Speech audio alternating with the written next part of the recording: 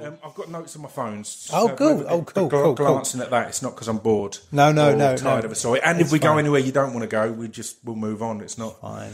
It's not. I'm not Paxman. I'm not. Now, you've got two you. watches on, I see. I've got two watches on, yeah, and one of them's just the the battery's died recently, so Oh, it's okay. annoying. So now it looks even weirder. But Yeah. What was the why? Did you have two best in um, the first I literally, I've come up with tons of stories and interviews about it. I've said that it's a balanced thing. I like to be balanced. I've said that uh, well, Different have- colours as well. have- Gold yeah, and silver is good.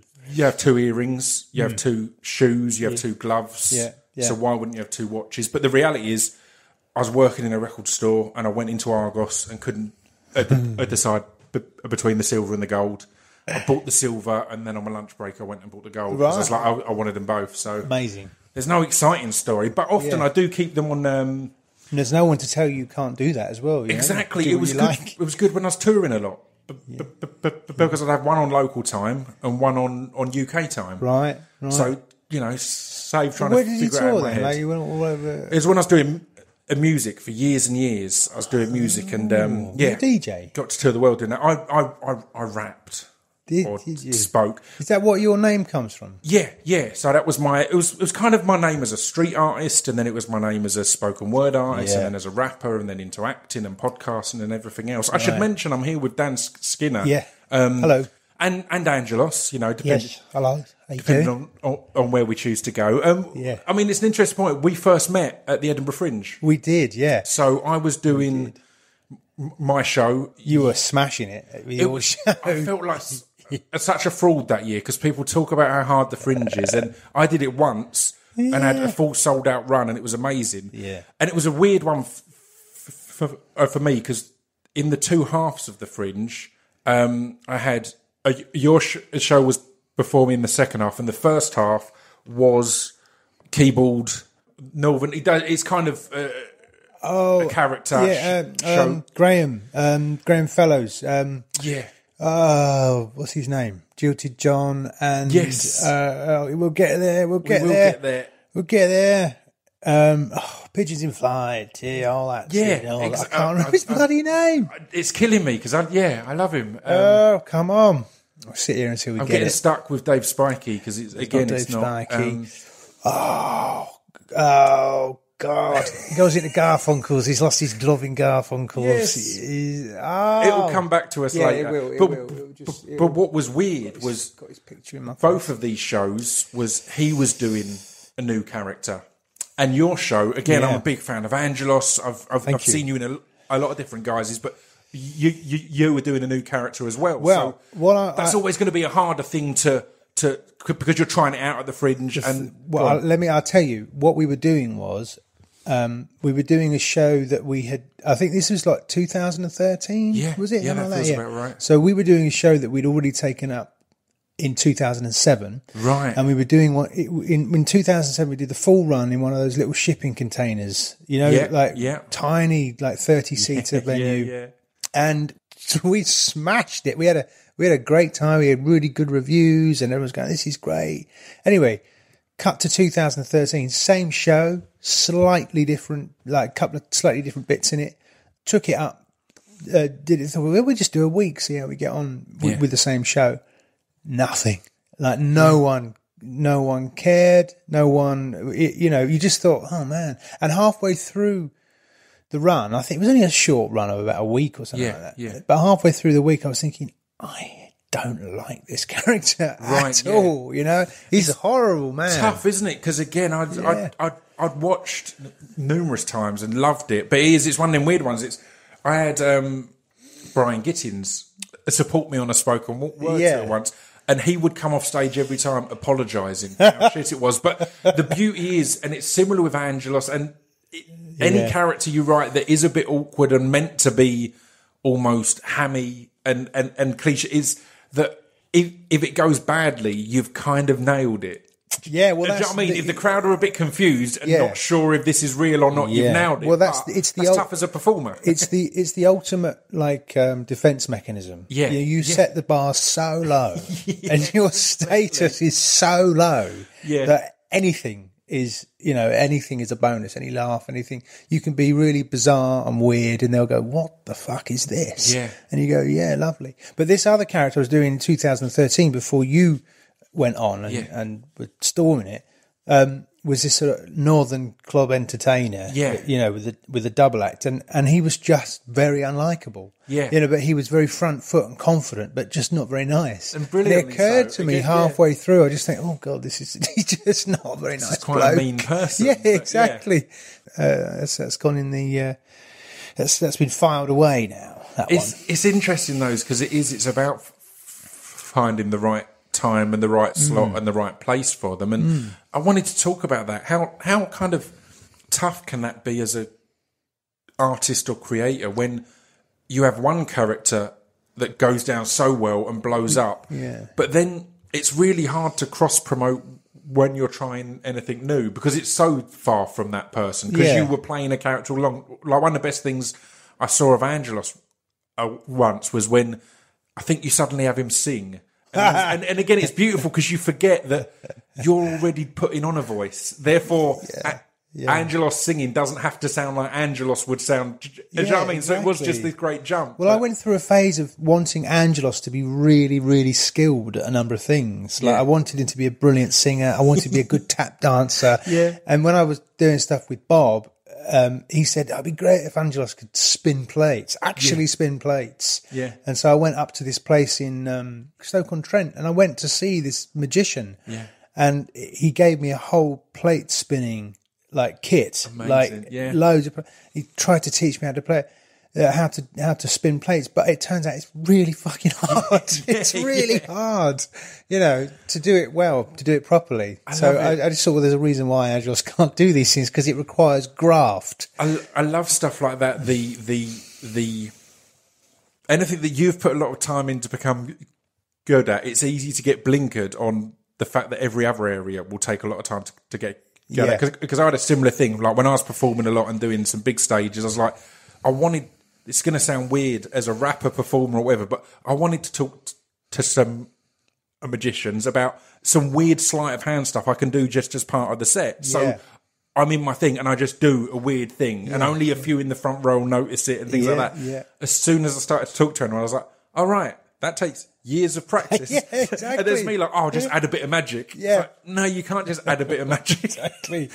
it's so funny. I mean, but that's the, that's the beauty of when you watch these performers. Yeah, they make and it you seem go, so effortless. that's easy, isn't it? Yeah. Like they're just, it, it's not. It's Yeah. really hard. It's really hard to sort of to get into the front row and talk to people and Yeah. know how to respond to them and Yeah. you know and make it look like you're doing it for the first time. It takes ages. you Yeah. know. But once you've got it, it's just lovely to be able to pull it out of the bag. You Yeah. know, it's a very nice sort of skill skill to have. But it, it's you know, it's uh, one of those old things. It's you know, I, I, it, it it takes years to look that shit. Yeah. you know, for Angelos, Completely, you know, it takes a long time to look that awful. Yeah, you yeah. know, um, and I'm not you know blowing my own trumpet, but it, it before I was on Shooting Stars, I did Angelos for like about seven years, Yeah. just doing gigs and having no idea what I was going to say when I went out there, Yeah. no idea how to respond to an audience or you know what this person even was. Um, Yeah, eventually over time it sort of evolves and it evolves and you get to a place where I can actually just have a conversation about anything Yeah. with anybody and know his attitude and his responses and Yeah, and that's what's know. exciting and what's engaging. It's when you find a character that, like, I'll, I, I always use Angelos and Gittins as an example of this because of the YouTube stuff. That Hmm. I could watch those two characters talk about l- literally anything, and I have. yeah Um, yeah and it's just engaging and hilarious still because you found. You found that character, I guess. You found who they are. Therefore, well we found no matter also what situation you put them in, also we found the status between them yeah, you know Brian is very much really frustrated with Angelos Yeah. because Angelos seems to sort of glide through life Yeah. whereas Brian is like desperately wants things Yeah. and um, you know and and finds it really hard to get them Yeah, whereas and- Angelos doesn't really give a shit and he just gets given things Yeah, it's beautiful You know? because Angelos has got that kind of that that ignorant confidence Yeah. in just everything, and Brian, Yeah. it feels like Angelos is the only person he can feel above. Yeah, When, exactly. like, when he's around anyone else, he's the idiot. Yeah. When he's around Angelos, he's like, "What is wrong with you?" But even Angelos is above him. yeah, yeah, completely, exactly. Yeah, it's a funny old relationship that. So, where did Angelos come from as a character? How Ah, did you well, um, kind of find him? Angelos was actually somebody I met. Oh wow! Uh, I, I used to do role play. You know, you know when you're sort of trying to become an actor or whatever, you do these jobs. And I was doing role play work, corporate role play work, um, at um, a prison because they were looking for new prison officers. yeah, And um, rather than putting them through interview, they put them through these role play situations to see how they deal with you know these different situations. Yeah. And because it was a civil service civil service job, you didn't have to have any qualifications to sort of you know to, they just open it up to anyone. If you pass the role play, then that's pretty good. So they used to bus these people in from the job centre, like you know, to fill quotas and all the rest of it, and just to see who was who was suitable. And Angelos was one of those people that uh, applied for this job, and you know, and I, and I and I met him, and I thought, wow, that's that's good, and I and I happen to remember every word he said to me. amazing. Yeah, because it was sort of seared on my mind. And then I, I was doing a sketch show with some lads that very night, like Yeah. you know, after meeting this guy, and I sort of ran home and said, "Look, look who I met today." Yeah, And I did this impression of this guy that I'd met, and they said, "You've got to put that in, in the show." And, Yeah. and I said, "There's no way I can put that in the show. It's like it's it's just people would just go, no, you're you know you're it's dodgy, you know." yeah, And they said, "No, no, it's something about it. It, it just isn't." completely. You know? And- because that's it. It is. It's he. It, it's ne- never felt like it's a um a, a poking fun at anyone. Because again, he's he, he's not all there. He's not the sharpest tool in the box. No. But it doesn't feel offensive in any way of that you're playing. I've often someone who's got any that. disability or anything like that. And I think part of that comes down to his his his his confidence. Yeah. his, his short his his full false like he'll dismiss arguments with, with ease. And yeah, it's kind of And also, he's just not a victim in any way. No, if no, anybody 100%. sort of like wants to take him on, Yeah. they'll lose. Yeah. because at the end of the day, he doesn't give a shit about anything. Yeah, so yeah, yeah. it's just he has free reign to say whatever he likes. Yeah. but he just looks a wreck. yeah, You know, it's great to have that amount of confidence and then like just dress how you want, and you know, he's a strange old fruit. Is that is that handy for when you were working it out on stage as well? Because you Hmm. you get in embodying the character, you get to not care, and that must be the hardest thing, particularly with improv stuff or with open mics or anything else. The nerves of are they going to like it? Are they going to laugh? In that moment, you get to not care about that because Yeah, because the character wouldn't care. And also, yeah, exactly. I think it just comes down to when you go on the stage, you just have to believe that you're him. Yeah, And he wouldn't care. Yeah, So, you know, he's up there doing the best job in the world. Yeah. You know, in his eyes, he should be at the O2. yeah, You know, there's something gone wrong. Not, just not that I'm not there, but it will happen. So yeah, I mean, it's it's uh, it's just getting yourself in that mindset of like, well, I'm he wouldn't care. Yeah. So I don't care, and it's a, just probably just a defense mechanism. And you know, getting up on stage in front of people. yeah.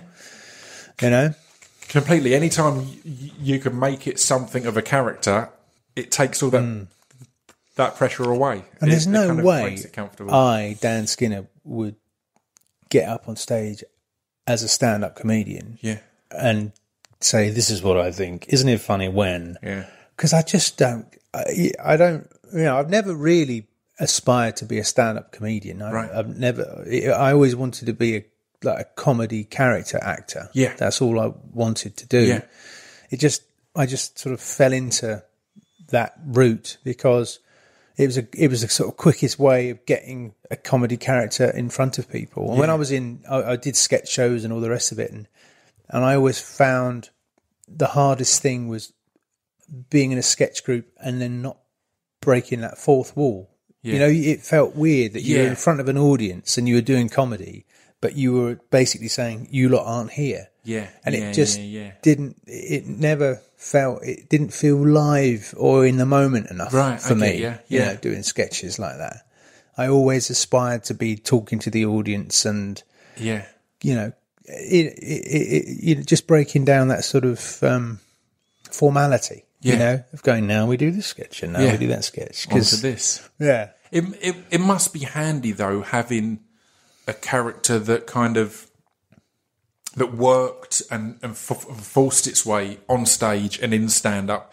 Um, that must be handy as an actor Hmm. because I mean, there's a lot of your acting stuff I want to talk about because you've worked with some people I absolutely idolise and you've Yeah. There's there's a, yeah we'll get, we'll get into all of that, but even then, it's an industry that you could have a role that wins you awards and then not have a thing for a year, Yeah. for two years, Yeah. you know. So yeah. it's it's something that since I've moved into acting, it's made me glad I've got the podcast. Yeah, I've got all these other things I'm doing Yeah. all the time. So Yeah, yeah. I don't mind if it's a big gap. I'll have one thing same. that feels like a massive deal, and then there could be a huge gap, and it means that you can be that bit more s- selective. You don't have to be ch- ch- chasing every every little opportunity. I, I, I absolutely. I mean, I, it's it gives you like a confidence and a and a freedom to just you know think, well, I'm always doing what I want to be doing. Yeah. you know, I'm always either working towards a new tour show or a new Yeah. like Edinburgh show, which I'm doing at the moment. You know, or. or uh, you know, and even if I've got little gigs coming up, I'm always going right. I'll try that new joke there, and, and Yeah. it just gives me it just gives me a sense of freedom and excitement that Yeah. you know to go. Oh, I wonder if that works. That joke's going to work. And then when it does, it's like, oh, mate, that is just a business. You know, it's such a good feeling. You Yeah, know, yeah, yeah, and then when it then when it doesn't work, you just go, oh, no matter. Yeah. you know, it's it. Again, if it doesn't work, you can go, "Oh, Angelos." Yeah, and Fuck that one actually, you can always get a laugh out of going, "Well, that was shit, wasn't it?" Yeah. you know, people don't mind. Exactly. It's, I it's I think it's. I just want to turn those live experiences into joyous experience. You know, joyful. Like I remember doing an episode of um, Shooting Stars once with with uh, you know Vic and Bob, obviously, and the, and we came off afterwards, and it had been a riot, and. Yeah. Jim sort of bounded up to me and goes, That was great. It was like a rock and roll comedy circus. Yeah. And I thought that's what that's what I want my live stuff to be like. Just Yeah. mayhem and just everyone like chipping in if they want and Yeah. like just you know, just like it, it just you know sometimes I'll take that joke and then I'll put that at the end and I'll put that bit up the front and Yeah. you know just mix it all up and It's- throw it up in the air. It's beautiful as well because it can afford the interaction. Because the the goal often of any of the the worst parts of the audience is to to. To get one over on the comic, to heckle, to be Yeah, a funny person. exactly. When you've got a character like Angelos, the point is that everyone is getting one over on him. So you literally can't win because he can just. I know. It's like arg- arguing arguing with a child kind of. Yeah, like, exactly. You can't win that. No, the audience because- member could come up with the wittiest retort of all. Exactly. and he can just like. But I fuck can off. just yeah, exactly, and I can just go cock and balls, mate. And and it's you know basically I can just hit the lowest common denominator, and it's all still okay because it's Angelos. Yeah, you know? I love it. How, how did sh- as, as Shooting Stars come about? Because that's where a lot of people, you know, were first introduced Hmm. to, Angelos as a character, and it really did just. I remember him being just a guest host the Yeah, first time I saw him, I and I was the like, panel. "Who is this guy?" And then it was just. This is now a key part of the show. This, this, this guy is more important than the guests they've got on and all that kind of thing. So, so how did it all come about? Well, that's is a good story. yeah, I used to have a little, um, you know, little camera with a tape. Yeah. You know, you put tape in it, and Yeah, yeah, yeah. you know, a video camera. And I sat on my bed. Well, actually, I was doing the Armstrong and Miller show yeah, sketch, and Lucy Montgomery. right. And I, I kept sort of annoying her with Angelos and just putting notes under her dressing room door. Right. Seeing Angelos' is writing saying, we need to talk, you know, things like that, right? And then eventually said, you, you know who would like this? And he said, Bob would like this, Bob Mortimer. I went, oh, right, okay. She says, send it to Bob. I love the idea of that as a leave me alone. Go and hassle go, go and hassle, rather than a helpful bit of guidance. Can you please stop this? Yeah. Go over here and do it. go and hassle him with it. So I said, okay, I'll go and hassle him with it. So I thought, all right, well, I, and I sat on my bed and got my video camera and uh, I made this little video and I said, um, for Christ's sake, Mortimer, it's about time you gave me a job in it. This is getting ridiculous now. Uh, I'd never met him. and um, I said, I can do anything. I can shift boxes and all that stuff and move that from there to there and put that back there. But this is getting stupid now. So, so please get in touch with me. And I made this video and I put it in an envelope and I scribbled all over the envelope and I got a napkin and I wrote a message, a scrawled message to him in pencil and saying, "This is my video at last. Please give me a job from um, from Angelos." Thinking nothing, you know, thinking that's fun, and I bunged it off to him, and they rang me like you know, a week later saying we've got your video. I was like, "What?" I was honestly in trouble? it was really, really, it, you know, it. it was really bizarre. It's great because again, I Lisa think Clark rang me, the producer, and said, Bob, Bob would like to meet you. it's beautiful because I think there is a lot of luck in all of these industries. There's timing. There's the, there's the right thing in the right place. You happening to meet that guy in that prison at, at that yeah, time. yeah, But yeah, yeah. There's also people then underestimate the things that people do to to force that luck to Mm. make that happen. No one had asked you for that tape. No, Do you know what I exactly, mean? It's, it's, exactly. It's, it's similar. There's been uh, so many things in my career that I'll be working on for months, and I'll be explaining to, to people. No one's asked me to write this script or to work on Yeah. this. I'm working on it in the hope that someone will want to see it. And Yeah. Because I was aware that that's how I did my first album. I had no profile or name, and we did our first album, and it ended up being in the charts and stuff like that, and that was exciting. But it's that realization that I put loads of work into that when no one was interested. Yeah, and that's what's then then that luck does come into it as you get that break. But still, it's all that work prior to But that. I, I don't. I, when you're doing that stuff, it doesn't feel like work. No. It feels like this is fun. Yeah. You know, it's fun to do it. You know, it feel it starts to feel like work when you know when people go right. What what, what are you going to do now? We're going to do. You go. Yeah. Oh, it feels like work. yeah, But- completely. You know, it, at the beginning, it's it just when like no one had any anticipation. Yeah, just it's like at the beginning, it's just like. I play this dickhead, Yeah. you know, I annoy people with him, yeah, um, and that's that's just fun. And it was funny, like sending that video off to Bob. People said, "Cool, that was that took balls to do that," Yeah. and I was thinking, it really didn't take balls. It's just like honestly, it was a, just a bit of fun. send it off and forget about Send it. Send it off and don't worry about Yeah. it. You know, I wasn't thinking, when are they going to ring? Because Yeah. if if I was thinking that, I wouldn't have written a handwritten note on a napkin. Yeah, you know, I would have yeah. written a proper letter or gone through my agent or something like that. Completely. You know, and that's it. The thought there is that it's it's it's, it's it was easy for you to do. It's throwaway. It might catch attention. If it doesn't, you're going to Mm. Assume that, that no one ever saw it. yeah. And also, No harm, I, no if it doesn't happen, I'll just keep going around doing these little pubs and Yeah. and you know and, and keep doing that because it's fun. Yeah. you know, and it's and and and for a long time after I did Shooting Stars and after I toured and all the rest of it, it stopped being fun. It stopped. It felt like oh fucking hell, this is a grind. You know, going Yeah. out there and sticking my jaw out and doing all this stuff. Yeah, you know, yeah. it was it stopped being fun.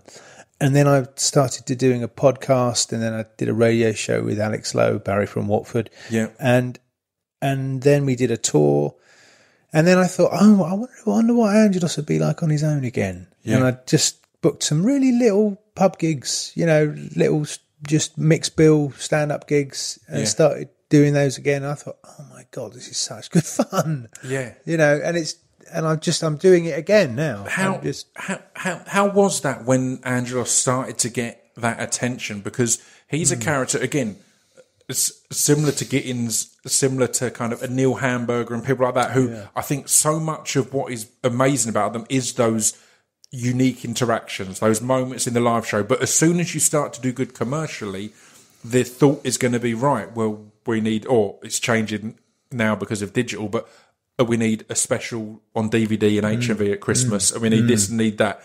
How was that to kind of go through? Because again, he's not necessarily. It, it it makes me think. Although I think uh, Sean Lock is an amazing stand-up, I think where he's l- at his absolute best is on panel shows, just talking and engaging. His stand-up's still great, but that's hmm. the best place for him. So it seems odd that people go, "You're amazing in this scenario. Now we want you." In this scenario, that not exactly the same, but that's what we're used to, and that's how we sell you and market you. And I don't know, you know, I, it was it was hard. It was hard work. Yeah. and it was and it was.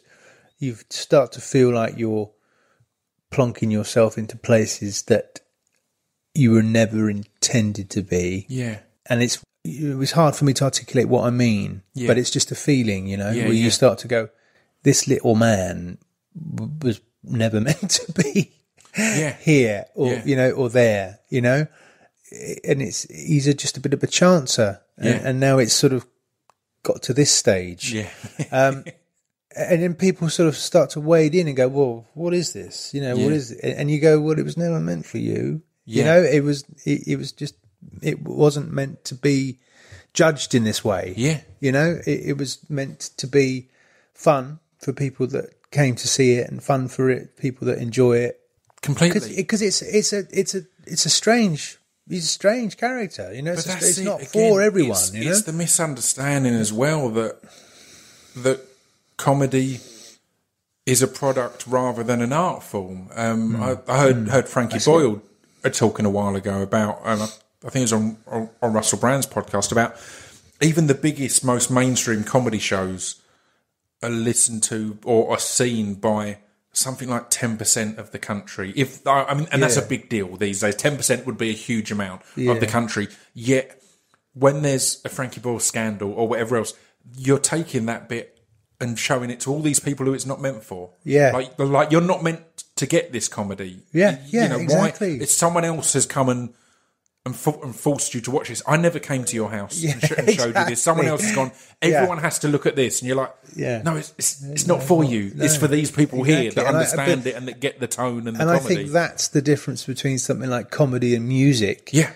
where you know music a good pop song's a good pop song Yeah, man yeah, like completely. everyone it just clicks something in the brain and you know whether you whether you think oh i don't like hearing that song anymore but it makes me tap along and i Yeah, just comedy's not like that Com- comedy is you know there are comedians that go for that Yeah. you know go for the mass like appeal and they're brilliant at it absolutely brilliant at it completely. but there are many, many comedians. It's such a, you know, uh, it, it's such a unique and um, personal experience comedy and Yeah. and it's it really comedy is not for everybody you know specific types of comedy is not for everybody and completely because it's a weird one that it then became such a stadium thing. And again, that it's the fact that we just refer to comedy as comedy. Like mu- music yeah, has exactly rap, Yeah. has rock, has all of this. So there's there's all these different Yeah. things within it, and, and, and, and comedy's the same. There's know, it's funny isn't uh, it Michael McIntyre is nothing like Tim Key. Yeah. and and and Eddie Murphy is nothing like you know Exactly. Angelos. And yet- so it's these it's knowing but people have in their mind. Oh, I love comedy. It's a laugh. Oh, it's a laugh, isn't it? Let's go and see some comedy. It's like, well, what kind of comedy are you into? yeah, exactly, What- what is this? exactly and yet the Edinburgh Festival every year there's an award for the best comedy Yeah, it's ludicrous. and you it? think, mm, you know, it's it is ludicrous. I don't know. I don't know. I don't know how they even come to the yeah. decision of, you know, a mate of mine, uh, Rob Auton, who I'm a big fan of, he's an amazing performer. It's kind of comedy, kind of poetry, all sorts of stuff. But I've never seen someone, I've never seen him as stressed out as when he won Joke of the Fringe in the Sun. Because he was really worried because his show isn't, it was the only joke he had in his show. Yeah. He had l- literally, that year, he had one actual joke in his show and it won Joke of the Fringe. And his thought was, everyone's going to come Yeah, expecting gags. I know. And it's not. Yeah, it's an yeah, hour yeah. long show that had one joke in. yeah. And again, that. Again, know- it- shows how stupid and subjective it is. I it's like think- you should be. I got joke of the fringe, and he was like, "Fuck, I got Yeah. joke of the fringe. I don't know what Yeah, yeah. This is I'm terrible. Build on this, Yeah. but I think most comedians operate on the. I mean, I, I don't, I don't know because do you know? To be honest with you, I don't know that many conventional stand-ups. I know, I know the sort of the curious people, Yeah. but I don't know like you know how normal stand-ups think. But I, I, most people that I know like people to find their stuff. You know, like people to discover their stuff rather than you going out there going, "Come and see this, come, and see my this," yeah. stuff." You know, it's it's basically if I go to a, do a little pub gig or something, Yeah. and somebody pops in that's you know doesn't know who I am, and they leave going, "Oh, I think he was funny, wasn't he?" Yeah. that Yeah. to me is like it's that's everything. You know, Yeah, that's what that's what I strive to It's, do. I it's, think. n- it's knowing the right place and the right kind of audience rather than focusing on the numbers. I Yeah, remember uh, but when I also- was touring a lot, I turned ended up turning down a lot of New Year's Eve's gigs because they paid a lot. And my thought was, as a band, to do a forty minute or an hour long set on New Year's Eve, no one w- w- wants that on New Year's Eve. Yeah. You want to hear just hits Yeah, and songs that you know. If we're doing a forty-minute set, there's going to be a lot of stuff in there that you don't know so well. Yeah. it's New Year's Eve. That's not the place for that. So my thought was always, if, if you want to book us to maybe come and play our two biggest songs, Yeah. then sure. But you could just play them off a CD and Yeah. get just as good a, a reaction and moment. Yeah, I, I mean, I, I, I still like, you know, I, I, the thing about Angelos is that he had a, he had a nice peak, Yeah. But even then, even that, it was no, it was no like Micky Flanagan or, Yeah, yeah, um, yeah, yeah, you know, yeah, yeah. It, it was, it was nothing like that. You know, it was just like fairly, you know, got to do a DVD and all the rest of it. And I still like going to places, you know, the back of Beyond, going somewhere Yeah. and people discovering this character. Yeah. I still, you know, I, I, I, and seeing people seeing this person for the first time and go, "Oh, that person's really funny," you know, because Yeah. because I, I suspect someone like Micky Flanagan or Michael McIntyre can't do that now because they are just everybody knows There's so all much their of a stuff. preconception on them all, already. It's it's mm. really weird. And, and Michael McIntyre's a great example because I remember seeing him years ago at, at Latitude, not knowing who he was, and he was the funniest thing I saw Yeah. all weekend. Just slayed me. Since he's got big. I've not enjoyed any of his sets, and that's probably because of my own mindset and my own approach. Well, because I'm going, oh, it's Michael McIntyre, well, you know, Yeah. rather than just enjoying it for what it is. My own bias has got in the way of that.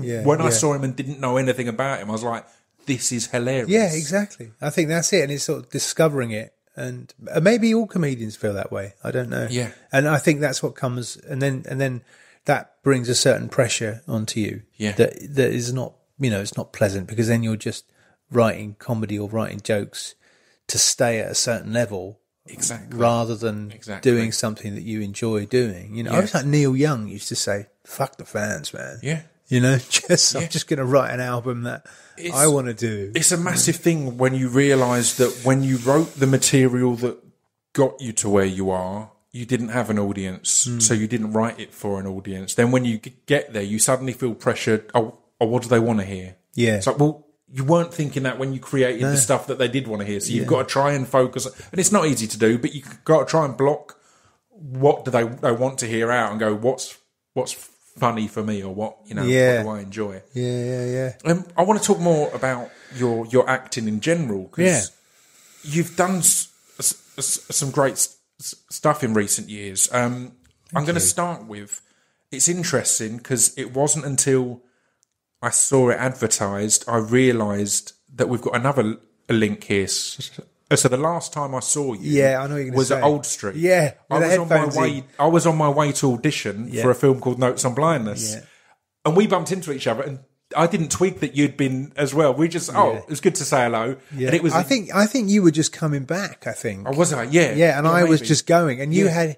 Oh, maybe you were going because you had headphones in. Yes. No, that's right. You were going there, and I was coming back because you were you had headphones in, and and you said I'm off to an audition. Yeah. And I thought he'll be listening to the lip sync. Yeah. Yeah. yeah. How crazy was that? And again, I didn't realise till like, and it's a really interesting one because it was the first audition I'd had that I didn't uh, want to get. And not because it, it wasn't great, but because it was my third or fourth audition. Hmm. And I thought it was amazing, but I didn't think I was ready for it. so it was yeah. one of them that I was hugely excited to be there. And I'll explain a bit for those who don't know. As a Notes on Blindness was this amazing film that was it was a documentary all based on the audio tapes of a guy called John um, M. Hull who who went bl- bl- bl- blind and decided to record kind of an audio diary. Yeah, of his, of his, of his experience. He he was he was he was blind. Uh, he was going blind Yeah. since uh, he had some. He, he had eye trouble when he was very young, and he was going blind. You know, but it was only when he was about forty that he completely lost his sight, Yeah. just before the birth of his first son. yeah. And And he was a teacher. a Um, yeah, he was an lecturer, and, you know, academic. He was a um, uh, a theologian, and that's a big part of it. The, his theology and his belief and his faith, Mm. because it's and he, he wrote this book called "Touching the Rock" about his experience of going completely blind, yeah, and he made these audio tapes um, of his experiences, and some of them are very dark and very difficult to to listen to because they're very personal and very touching.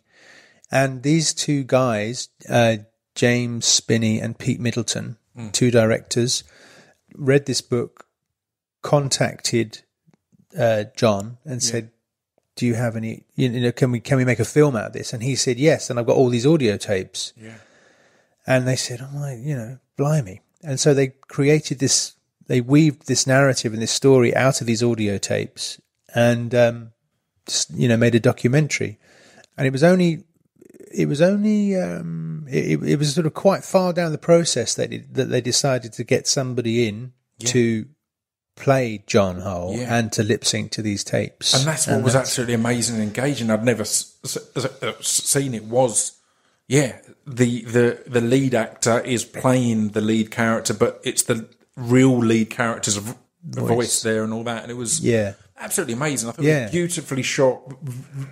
Visually, it was just wonderfully surreal in places and dramatic. And the, I mean, it's not giving any s- spoilers, but it was amazing to hear the kind of the film cliche of rain being important to a blind person because it really gives dimension all that hearing that as a reality Hmm. for john and the way that's played out inside and outside some Yeah. really dramatic and beautiful scenes yeah, and yeah. yeah. So how was that to be part of? Because you've got the pressure of you're playing a living person and you're trying to represent them and do them them justice, and also you you it's the lip syncing part. I think hmm. the reason I was asked in at such an early point in my career was because I come from music and music videos is all lip sync. So as, as soon as I was in the in in the in, in the first audition, they were like, "This must have been easy for you," and I was like. No, not at all. Because I'm lip syncing to stuff that's on a beat and on a rhythm, not that's broken up and spoken and yeah. Yeah, and also you got a great big beard. Got a great big and I beard. think that Yeah. was a big old selling point because when I went in, I had an enormous beard as Yeah. well. I thought they're just getting everyone in with beards. Yeah, they're getting the beard people in. yeah. But it was, um, yeah, it was. You know, it was, it was uh, when when they sent that through and they said we'd like you to lip sync to these to this. I thought, well, this bit will be lip synced, Yeah. and then that you know that'll probably be it. And so I, you know, I just did it. I set about you know, um, learning how to sort of lip sync to this bit of dialogue. And it's hard because it's not only lip syncing the dialogue, it's the coughs, the stutters, breaths, the, the breaths. yeah. Because he suffered from asthma as well. Yeah. So there's a lot of that in there. And you had Yeah. to try and factor that in as well. It's a fascinating one, even to just audition for to get that touch of trying to Yeah. learn that motion and learn. But I think for someone like me, um, it was great. It was perfect because, you know, you can get obsessed with that sort of stuff. Yeah. And obsessed with getting it absolutely perfect. Every moment, every Yeah, and and it just appealed to me in that in that respect, really. I just and I just had these headphones in. I was just listening to this thing. And I just did it over and over and over again. And then you've got it lip sync it, and you have to act it, or you have to you have to uh, adopt an attitude, you know, and you've got to be blind as well. Yeah. So there's a few things going on. there's a lot going on. Yeah, and and I and, and I just uh, I just I could just do it, Yeah. you know, and, and that's I think that's what it comes down to, really. I think you just oh, you know, I just yeah, I could go. I could do this. Yeah. In the same way that I saw um, Simone's audition. Yeah. She was playing John's wife. Yeah, Um, and I watched her audition. I thought, perfect, man. She she could she could do it as well. Yeah. And and I don't know that it's it's not something you'd ever get taught in drama school. No. It's just that something that you you, you have know, to try I and suppose you have and to try and see if you can do it or see, not. and that's that's the the beautiful p- point. There is it's something that you have to learn in stages that you'll get the lip sync nailed. And then you realise that you're lip syncing, but completely focused. Yeah, on, on that. It's exactly. like, no, this is on camera. This isn't. Yeah, you have to otherwise find you a wouldn't way be of doing it and looking, you know, Yeah. uh, philosophical and Yeah. you know, just yeah, the- you have to put meaning behind the lip syncing Yeah. as well. That's that was the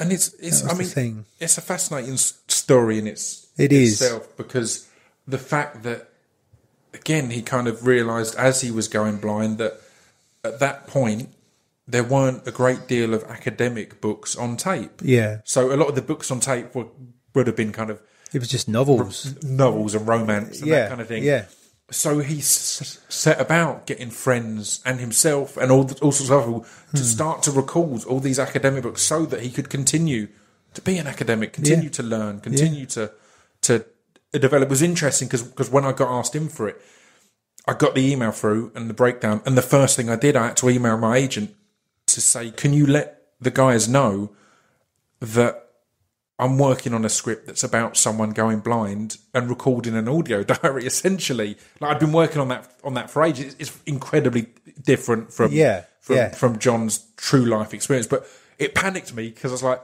I don't want anyone to think that I've, I've yeah, heard about yeah. this, And then I'm gone, gonna "Oh, take the right, idea." That sounds good. Yeah, So it was, yeah. literally the first email back was that, and then it was like, so as long as they know that, I'll, Yeah. I'm happy to come in, but I'm scared of this. But Yeah, it was yeah. fascinating to watch. Yeah, all the realities of that, all the things that the fact that he found, I don't know, he found by the end he found a greater focus Hmm. and a greater drive because he had less distractions as such. The fact that he couldn't just, just, just. Or, or, or the fact that he woke up and was instantly kind of in emptiness as such, Yeah. there seemed to be a greater drive to feel that, to continue to educate. I, th- and, I think um, Marilyn, his wife, yeah, you know, she summed it up perfectly, really, saying the book really is about loss. You know, it's it's um, yes, it's about adaptation. It is about going blind and and finding a new way of doing things, but it's about loss. yeah, because you know he was at a loss. You know, he he, he he lost his sight. He thought he'd lost his career. He didn't know. He, he he had to basically start again. And it's like, how do you come to that sort of understanding, and how do you adapt? How do you become? You know how, and, and also his faith. It's a, it's a massive test of faith for him because why? You know, he's been a you know a believer all his life. Why would God do such a thing to him? and he had to square that in his head as well. You know, he had to he had to say, well, okay, well, the Bible doesn't appear to be written for blind people, you know, it, and it's it, he had to. In the end, I think the last lines of the film are, "It's it's a gift, you know, it's not a gift I want, it's not a gift my children to want, Yeah. but it is a gift, and now I have to work out what I'm going to do with this, you know." And um, in the end, um, you know, it, by the end, he just sort of referred to it all as a bit of a nuisance. Yeah, You know, rather than something that would sort of, you know, cripple. and that's what I love how life. kind of how grand it began and how small it became as a as Mm. as as as something that he was taken in. The fact that by the end it was, as I said, it was this kind of this is this is frustrating, but it Yeah. it it didn't feel like the end of the world Yeah, anymore. At the start, it felt like the end of the world. At the end, as you said, it felt like more of a nuisance. Yeah. a, a, Yeah. a slight a slight frustration. So another Yeah. film that I wanted to talk to you about um, is High Rise. Yes. Ben Wheatley is absolutely amazing. I think he's one of the best that that Britain's got. And High Rise was hugely exciting to hear it was happening and to see Yeah. the early visuals because it felt like the first time he's had, or I don't know, pulled out of the kind of the surreal realism that he's known for, the grittiness he's known for, and then it's suddenly this utopian, slick, crazy world. Dystopian. I Yeah, dystopian completely, yeah. Yeah, absolutely. So how was that to work on and, and, be, was, and be part of? It's a, it's a story of essentially a time in the future where essentially everyone lives, well, it's a funny or a old community thing. It's- lives inside this high rise, and there's a hierarchy in class. Mm, and That's it. There's there's on a so there's a few. It's a it's a it's a futuristic view of the seventies. Yeah. So it's yeah, probably set in the seventies. Yeah. But it's a futuristic view of this. I think it was written about 1976 or something like Yeah. that. But it's a it's like how would this? But but it's still set in the seventies, but a futuristic, weird futuristic view of it. beautiful because it was around then that people like uh, uh, uh, Le Corbusier was was was a designer of of, of an, an architect, and he came up with designs and, and the theory that in the future we would have everything we need in one building, and that was seen as a positive thing. Mm. Yeah. you, you could now look at it as essentially a prison, or the the fact that we never have to leave this one Exactly. place. At that point, it was seen as wow. Imagine if we never had to leave Well, this is our, of the- our, our doorstep essentially, and on the bottom floor you've got the library, the shop, everything you need. Well, we are that was pretty, seen as an exciting thing. we are pretty much there now. It's not far off, is it? With Yeah, online ordering and everything else honestly, as well. everyone, yeah, I, we're obsessed with convenience. Yeah. You know, and and have have little idea actually what it's doing to us. You know, I couldn't agree more. And I think convenience is the biggest selling point of everything these days. Hmm. I think people talk about, particularly coming from the music industry, how do we stop pirating of music and things like that? It's like convenience. the the, Yeah. the reason digital sales sales exist still is it's easier on my phone to click and pay 49p on iTunes than Yeah. it is to go and find a torrent, download it on my computer, Yeah. transfer it across to my phone, so on and so forth. Convenience. And. Amazon as well, the one click ordering on Amazon. It's like that I that, that I- did a lot of damage, I think, on on the internet because as a as an artist who'll be pr- uh, promoting tours and stuff, if people have to l- look at your tweet, then click to another page, then click to another page, and then buy, Yeah. a lot of people uh, won't because we're so used to. I want to just be able to go. There you go, it's done. Yeah, exactly. It's mad. I know, I know, it really is, and you know, there's there's good uh, as with everything is there's you know there's there's uh, there's good and bad to it, but course. um, you know, I, I'm I'm grateful that people still turn out for live Yeah, live comedy, you, Yeah. you know, or live live stuff. People Yeah. that seems to be a really big thing. I mean, there's more comedy happening, you know, yeah. now than than than there there's ever been. I think. And that's so pleasing. Yeah, yeah, 'cause it's great. real and there and only. I don't know what it's like for live music. I, th- I suppose It that's is- quite healthy as well, isn't it? It's it's it's the same. It's still it's that thing. And I remember when I did because I've stopped doing music for a bit because the acting has become such an exciting thing for me. Yeah. But um, I remember the last time we played Glastonbury. We were posting about it. We're playing on Billy Bragg's stage. It's going to be amazing. Blah blah. And I had tons of people online saying, uh, uh, "Where can I watch this?" I was like, "In the tent." yeah, it. yeah. That's and it, it's such yeah, a weird yeah. thing. I, it's what I love about live Yeah. Hmm. comedy and live music now is you've got to be there to experience it. Otherwise, it's nothing to do with and that's you. what I I find exhilarating, exciting to be Yeah. On a stage in front of people doing something, Yeah. and saying something that I didn't say last night, Yeah. because there's somebody there that wasn't there last night, Yeah. you know, and that's that's a reason for people to come and watch something because it's like everyone moment. get together and experience something, you know, together, and that's you know that's a great thing. You just can't get that on you know if you sit at home on your own, Yeah. looking at Facebook and and I mean there's there's plenty of great things about those things, but it's just you know it's we need to keep an eye on it. what's Anyway, back to high rise. Yes, At high rise. That's where we came. That's where we arrived at. Because it Um, was so beautifully shot. The script is amazing. Everything just Mm. looked beautiful. It, as said, you're right. It, it was that perfect combination of retro and futuristic Mm. in one go, which are two of the v- visually sexiest things on screen. Anyway, if you have it retro, it looks all s- sunburnt and uh, Yeah, you know yeah. b- b- blown out nice. But if you have it futuristic, you've got the slickness. So yeah, it was a great, for design, and it was a it was a great tone. The film had a really good tone. Ev- every character had some underlying sleaze. Yeah, nastiness. absolutely. There was no Yeah, clear. Here's the good guys. Here's the bad guys. exactly. Everyone, you were a little bit. And then everyone had kind of redeeming parts as well. And your character was quite a dark character, but there was points as well where you're like, oh, there's a softness there, or there's an intent there. You can see why he's been pushed in this. yeah, exactly, things like and that's that. it. There's a reason, you Yeah. know. You, and and Ben, I think himself said it's not a fight between the upper classes and the, then the lower classes. it's a fight between upper middle classes and the lower middle classes. Yeah. And he said, that's a really grubby battle. you know, yeah. that's a really grubby battle because it's Yeah. because it's just like I want that, you know, and I should have that, you know, rather than I'm down here and I've got nothing, and you know maybe I could have that. It's it's it's it's it's where it's it's it's a beautiful portrayal of of of, of society because that's w- where the conflict is. Like, again, I was listening to someone talk the other day. I can't remember who, um, but yeah, it's the upper classes are above impressing each other. They're there, and the lower classes are surviving. Yeah. So it is these middle class areas that you're trying to be better than that person. Yeah, you're trying to impress them. Exactly. The upper classes don't give a shit if you're like you're not going to impress them because they're Yeah. they're doing their thing. They're up there. So it is. It's that that weird middle ground which in the UK is ever expanding. Yeah, ever that's it. and That's it makes it. this ugly competition. I guess. yeah. And what I liked about playing Simmons was that Yeah. he he was perhaps the one character that that was you know he was a he was bottom of the rung. Yeah, yeah. And he happened to be working for the guy right at the top. Yeah. And so there was this disdain and hatred for this bloke he was working for. Yeah. You know, and everybody else in this building. You know, Yeah. he just looked down his nose at everyone even Yeah. though he was probably the lowest guy on the rung. It's you know, it's a very strange juxtaposition of that of being at the bottom, but because of purely circumstance, you're hmm.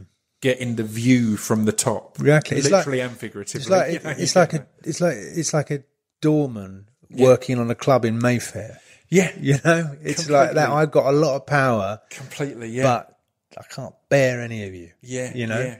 Um, it's a funny old act you have to put on, and and Yeah. uh, yeah so it was, um, yeah, it was it was it was a great experience, and Ben just made it very very easy. I was I mean, going to say, how was he to work with? Because it feels like everyone I know's worked with him, and every and purely from even if I didn't know people who worked for him, from watching, it feels like a real collaborative effort. It always Hmm. feels like um, the actors, the DOP, the director, everyone is just equal in this. You know, they're all pulling together and all kind of excited to be going in Yeah. in what you're creating. um, I mean, Ben is like the complete driving force. Yeah, you know, yeah. obviously, and Amy, the writer, his his wife, um, and it's it, and he and he basically he sticks rigidly to the script. Yeah. and in fact, he calls that the instructions.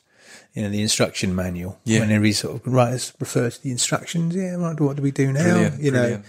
and that's a very traditional uh, way of working as well, because that's kind but- of changed a lot in modern society. That it's felt that um, the, the the the the script is a loose guideline, and the director must create the, the art piece. Whereas in a lot of the best French cinema and things like that, you look at any of them old scripts, and you could literally.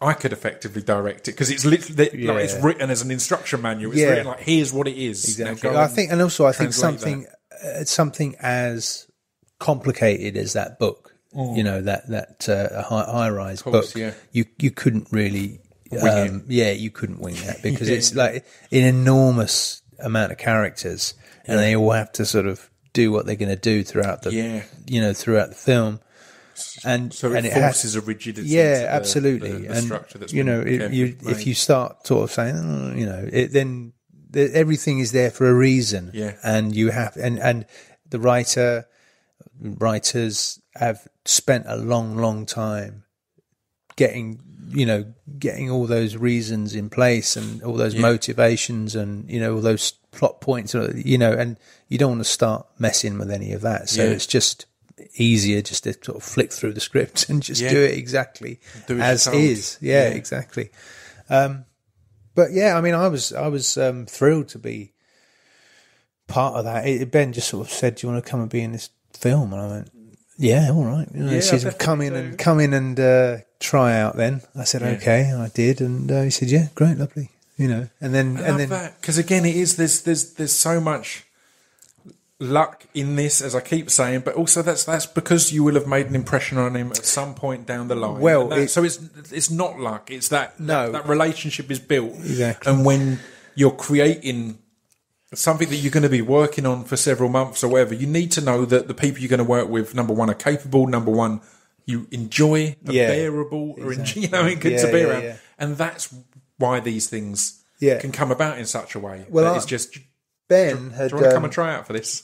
ben had directed a lot of the vic and bob sketches for shooting stars right, right. So that's um, that. yeah, That's that's how that had come about. And then um, um, he's yeah, come and come and have a go at this. I said okay, uh, but it was a little bit of a it was daunting because you know you sort of hanging around the hotel with Sienna Miller and Tom Hiddleston, Yeah. and uh, James Purefoy and Jeremy Irons. You know, you just think well, this is a strange old um, jump up from mucking around with Vic and Bob Yeah, yeah. you know. But you just you just crack on, didn't you? You take anything from from Angelos in those those situations? From Angelos's outlook of like, let's just get on with it. All right, we're here. I Well, I it's you know- be fine. Angelos isn't a million miles from me. Yeah, yeah. You know, so there's sort of parts of me that just has to go right. Well, dive in and uh, and and just crack on. I mean, I've done a lot of acting, Yeah, So yeah. it's not like I just hadn't done, you know, what you would call drama, I suppose, Yeah. or serious serious drama. Um, but it, it's not, you know, again, as long as you've got an attitude and you know you you know how you're supposed to be towards that person and what you feel about that person, then uh, yeah, and the and the writing is all there. And that's it. I mean, often the, there's so much going on that you don't have that much time to worry about it until afterwards. I- absolutely. I, had similar with uh, uh, Taboo that my third acting gig, and it's Tom Hardy and Stephen Graham, Yeah. and, and, and written by Steven Knight and all of this, and I'm sitting there like. Every now and then, it'd be just as I'm going to bed, I'd be like, "This is mad. Yeah, yeah, this is a yeah, bit mental." But other than that, it was like, "Right, here's what I need to do tomorrow. Here's what I need to have ready. Here's what I need to do." So you didn't have that time to kind of. Over, well, I, I felt like I felt like that more with Shooting Stars than I did with like, and you know, neither films because Shooting Stars and Vic and Bob were. If anyone said, "Dan, what is it you want to do?" I say, "Well, I want to be on that show Yeah. with those guys doing what I want to do." Yeah. and that's exactly what happened. So, like every every every show after every show. Uh, after every show we recorded, I was expecting a phone call the next day going, "All right, that's it, Dan. You're you're, you're How- fired now." How was that initially then? Because again, it's it's there is even more pressure there um, because it was the return of Shooting Star, so it was already an established Yeah, group of people exactly. who all know each other, who've all been doing Yeah. it for years. Well, that's who what they're Bob excited said. to be having a reunion, and there's a guy at the reunion who It wasn't there the first didn't time. go to this school. Yeah, You know, exactly. he's kind of just there, but he's got to be part of it. So well, how was that? This was this is when I because Bob said after coming to see me do a gig, Bob invited me down to um, you know to muck, muck around in the audition room Yeah. with with him and Jim Vic, Yeah. Matt Lucas, Jack Dee, Ulrika, Wow.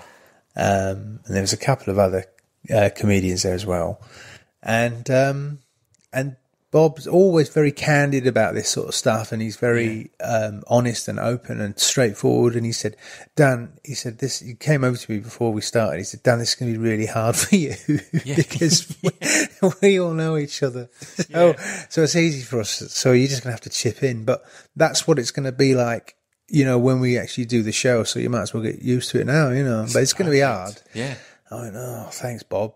Anyway, so I just bung my hair down, and I, and and they were all chatting away, doing stuff, and I thought, well, if I don't chip in and just go jump in both feet, then I'm just not going to say anything. Yeah. So I just sort of said, I said to them, how long is this going to take? Because I've got to go home. So, you know, I don't know what you think you're doing, but if we don't start this soon. and they were so disarmed by it. Yeah. And it just made me feel like, okay, well, if I can be that brutal in my opening Yeah. comments, Yeah. then I'll, then I'll be okay. But I I had to, I had to go in hard. Again, it gives you 'cause- it gives you f- f- free license to be as brutal. Yeah, as possible, exactly. Because people can only ever get offended by or angry at Angelos, and you you get to turn him off as soon as Exactly. you walk off set. It's like they're not I mean, angry at that. yeah, exactly. Everybody understands. I know it is, but you know, it, I, I thought if I don't do Like that, your then- emu. yeah, literally like basically, your emu. honestly, that is what it's like. It's like I've got this uncontrollable puppet that I'm, I'm well, sort of in control of, but but not really because it's me with the sensor off. Yeah. You know, it's like, what would I? What's the worst thing I could say in this Yeah. situation? Well, I'll say that.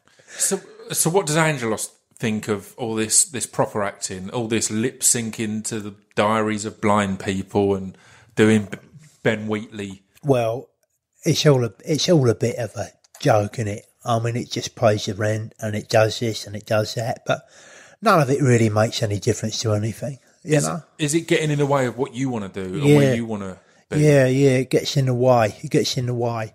I mean, it's a nice holiday for me um, when he does them things, but um, you know, I'd rather it was me front and centre. Yeah. and it was all about me, to be honest Yeah. with you. You know, because I like to be centre stage, and I deserve to be as well because I've got a lot to offer. How do you feel being around people like Tom Hiddleston and Sienna Miller and these these beautiful Hollywood stars? Um, when it's said you kind of you're not getting to be centre stage and they and they are.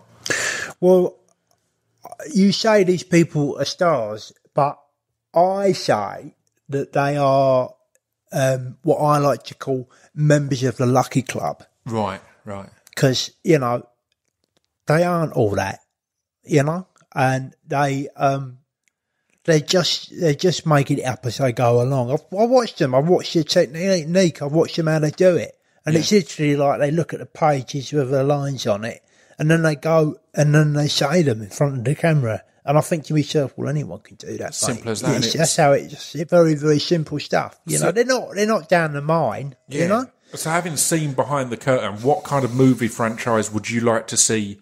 You know, fronted by Angelos. Is there well, I like to see. superhero or you know? Well, yeah, I, I, it is a superhero story. It would be called the Angelos Superfemia story. Yeah. and I would go and save things. Yeah, you know, like um, like proper things though that need saving, Yeah. like the sewage system. Right, I'd yeah. go and sort that out. essential. You know, or else I'd go and um, sort out like things like um, the runway. Yeah. You know, uh, Heathrow Which runway. Heathrow, right, right. I'll go and sort that out if that needed sorting out. You Yeah. know, I'll create problems for myself Yeah, that I could then solve, and I wouldn't tell anyone that I had created a problem. I like when you get um, firemen who are arsonists. Yeah, that sort of thing. That's exactly it. yeah. That's exactly it. I would be like an arsonist fireman. Like Yeah. I'd, I'd start a fire. Like what's that film? Um, I like that film with Kurt Russell. Backdraft. Backdraft, yeah, yes, yeah, sir. yeah, yeah. Yes, sir. I do something like Backdraft, but with um the, the sewers. Yeah, You know. you can make a mess and block it up, and then Yeah, I then- could block up the sewers with a homemade fatberg. Yeah, you know, or take a couple of bricks out here and there, cause a leak, and then there'll be all sorts of like up at the head office. They'd be like, "There's a problem with the sewage system," and I'd say, "Oh, don't worry, guys."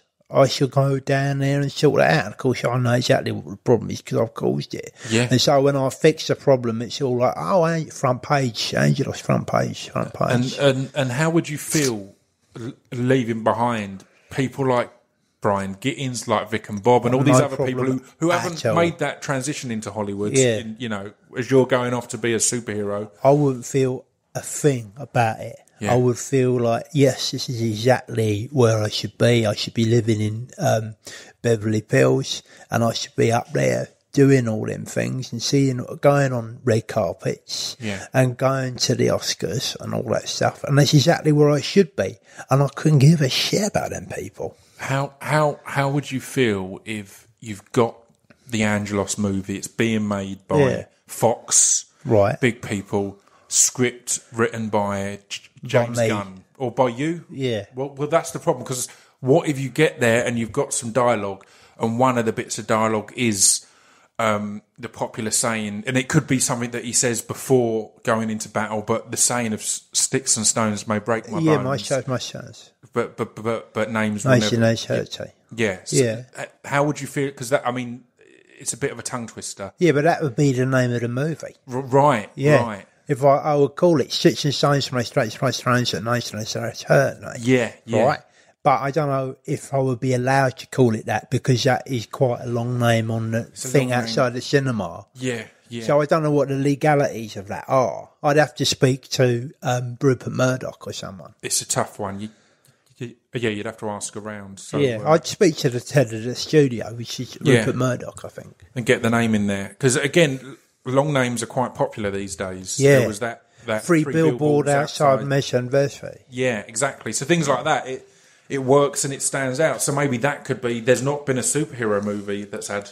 Six and Stones, my straight straight straight straight nice Yeah. mate. Yeah. Yeah, I know. There hasn't been that yet.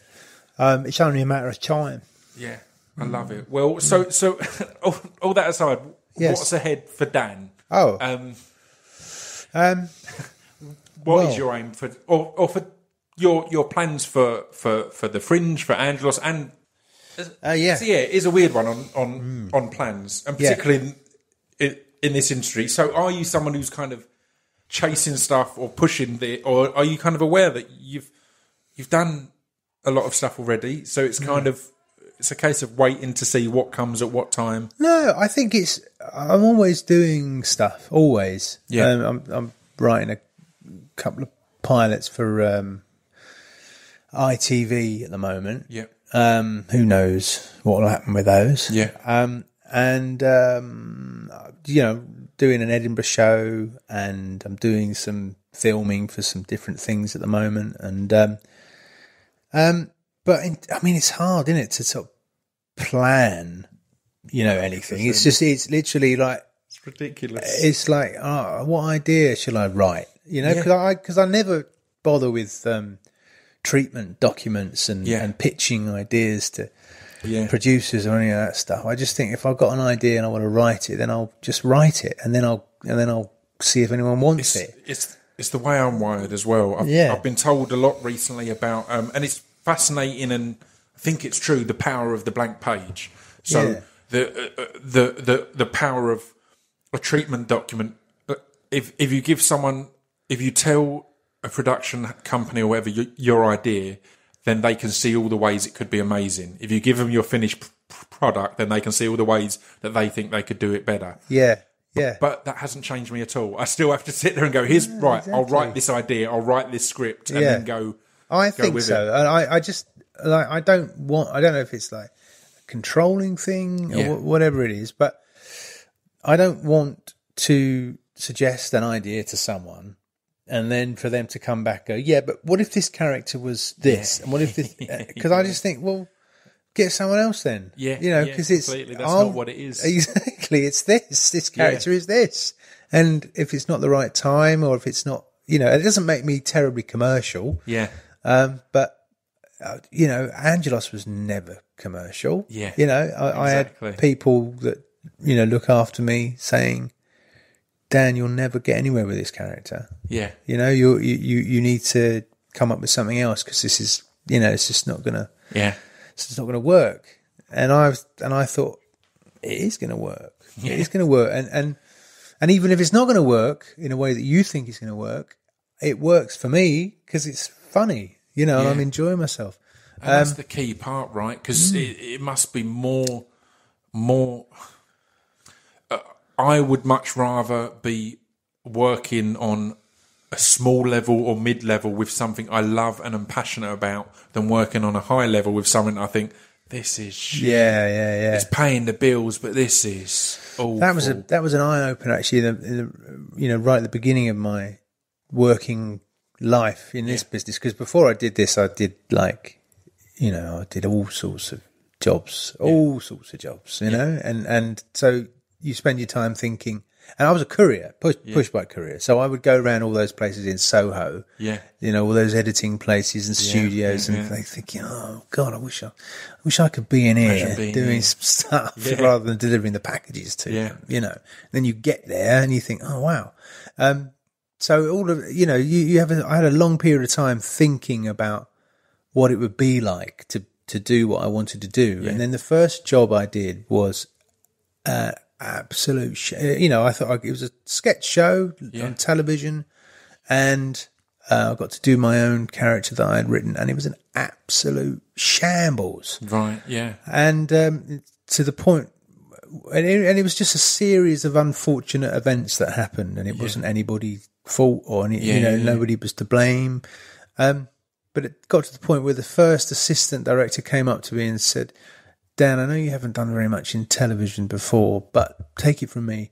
This is not how TV is made, Right. You know, um, and I thought, thank God you said that because this is horrible, and this is all, this is what I wanted to do, and I'm doing it, and it's horrible Yeah. you know Yeah. so so it Don't it, be put, it made me put think off by this. yes exactly so it made me think from a sort of you know from an early off thinking right i need to be doing stuff it's all very well doing stuff but i need to be doing stuff that i want to be doing you Mm. Yeah. know finding a way of finding a way of doing that you know because you've got to be there and you've got to commit a certain amount of time. And Yeah. I'd imagine even more so as as as a family man now. You know, b- Hmm. Yeah. being a father and Yeah. stuff like that means if you're going to be taken away, yeah make sure it's it's got to be something that you care about, right? Ha- Has that affected your outlook on career and things like that? I think it has. Um, you know, because as you say, it's like your time becomes much more precious Yeah. and limited. And if you're going out at night, then you need to make it worth your while. Yeah, you know, you need course. to. You need to make you, you don't want to be just winging it. You want to be turning up and going. I, Yeah. I believe in this, and you know, and I, and I want to be doing this rather Yeah. than any sort of you know, oh, blimey, come on. And I know that so any way through a creative process, you have that. You Yeah, have that of sort of period of like, what the What fuck am? I doing, man? you know, but I, but you sort of have enough um, experience to know that yeah, you'll come out the other end of that, and it will be a good, you know, it'll be a good thing that you end up with. Yeah. You know, or, or even if it's not a good thing you end up with, it was worth trying. Yeah, it's You know? worth the process Exactly. and the learning of it, and the, Yeah, or, or the failure or whatever Yeah. it is, you know. But to just be sort of doing stuff because someone's wants you to do it, and it's you know it's a great big block of time, and Yeah. it becomes less important, or it less becomes less um, enticing, I Yeah, suppose, yeah. in a way that when you're starting out, you just take everything, yeah, you know, completely. everything, everything that comes your way. I get that, and and that makes makes perfect sense because then if you can choose to have the excitement of the the one job I'm doing this year is working with Ben Wheatley on this usually the one job I'm doing is this rather than yeah, yeah I've got a couple of months on this project and things Yeah. like that. It's like having those months being exciting. Yeah. far more. Well, I think it's, it, whenever you sort of work on these things, you always find nice people. I think that also, you know, that's also a big, it's a big part of it. Yeah. You know, if you're working with people that you can, when you, when you're not filming, you just sit down on, in those chairs and chat good Yeah, stuff and yeah. have, a, have a nice conversation with them. Then that's really that's that's all part of it. You know. Completely. I Really think that's is. absolutely key. And I also think, again, this is just from my limited experience, but realizing early on that it's an industry that's full of hugely intensified bursts of moments. Mm. So you will have, you may have a friendship that is the deepest thing in that Yeah, month. And then you might not talk for a year or two because they're it. then onto another project and you're onto another project. Yeah. And there's nothing wrong with that. I think the problem can be if you start to get offended, but well, I thought we were really, this, we really, it's like, Yeah. no, it was an intense thing in that moment. And Exactly. then you're on to the next project. It's like and that's, it's like a it's like a brief love affair. Yeah, you know, and it, and it's like yeah, because you're spending every day, all day together, every day. and you're making each other laugh and all the and then but then you go on to something else and you get distracted by somebody else, Yeah. and you know that's just that's how it is. It's the beauty of it. Yeah, Well, yeah. I'll, I'll, I'll wrap things up now as we've gone comfortably over an hour. So thank you very much for your time. It's been an absolute a pleasure. Yeah, And, where can people you. keep up to date? You're on social media and stuff yeah, like that. Yeah. go on Twitter at Epithemiou. I haven't got a website or anything like Yeah. that, but you know, just uh, and if I'm doing anything, it'll be it'll be there. It'll be tweeted about. People find out about. somehow. Yeah. Thank you very much. It's been a pleasure. Oh, thanks for coming. Cheers, mate.